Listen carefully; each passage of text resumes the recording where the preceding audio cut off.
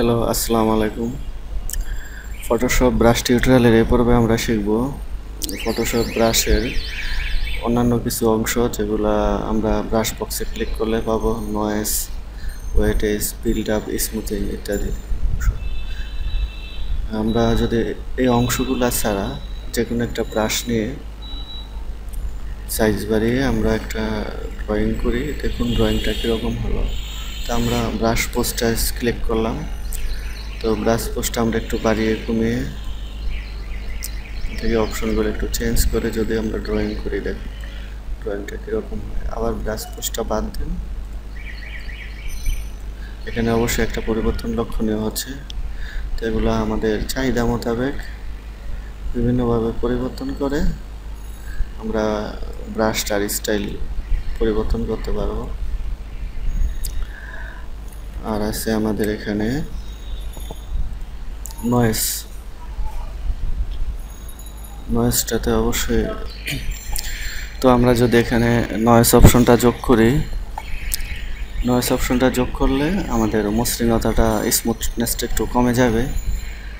আর আবার wait ADG যোগ করলে একটু ভেজা ভেজা ভাব আসবে ব্রাশটা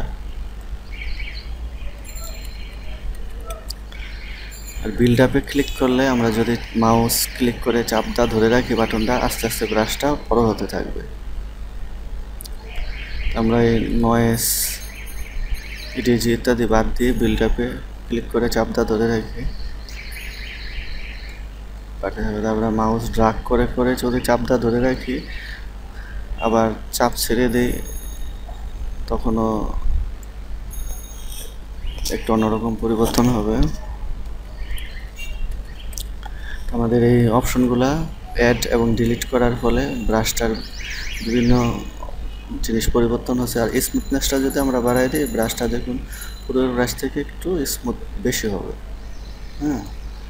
আমাদের একগুলা, সবগুলা তো আর একসাথে কাজ করবে না। যখন যেটা তখন সেটা দ্বারা আমরা ক্লিক করে সেই একটা সেই অংশটা অ্যাক্টিভ করে আমরা সে অনুযায়ী কাজ করি আমাদের ব্রাশ পোস্টটা যদি দরকার পড়ে তাই ব্রাশ পোস্টটা ক্লিক করে এটার বিভিন্ন অপশনগুলো চেঞ্জ করে সেই অনুযায়ী আমরা ব্রাশ সেট করে কাজ করব।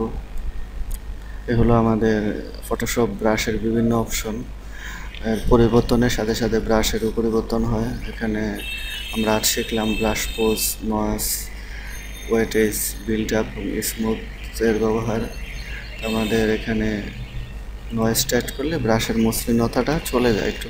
যত বড় ব্রাশ নেবেন, তত আপনি এই জিনিসগুলি বেশি বুঝতে পারবেন।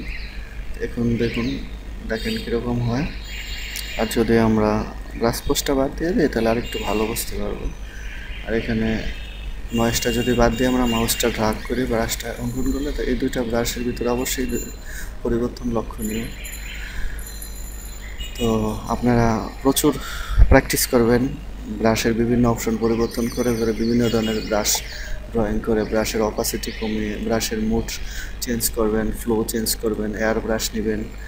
আর আপনাদের যদি গ্রাফিক্যাল ট্যাবলেট বোর্ড থাকে বা গ্রাফিক্যাল বোর্ড থাকে প্যান প্রেশার দ্বারা আপনারা ব্রাশের বিভিন্ন অংশ কন্ট্রোল করতে পারবেন, সেগুলা অবশ্যই আপনাদের এই প্যান প্রেশারগুলো তখন অ্যাক্টিভ করে নিতে হবে।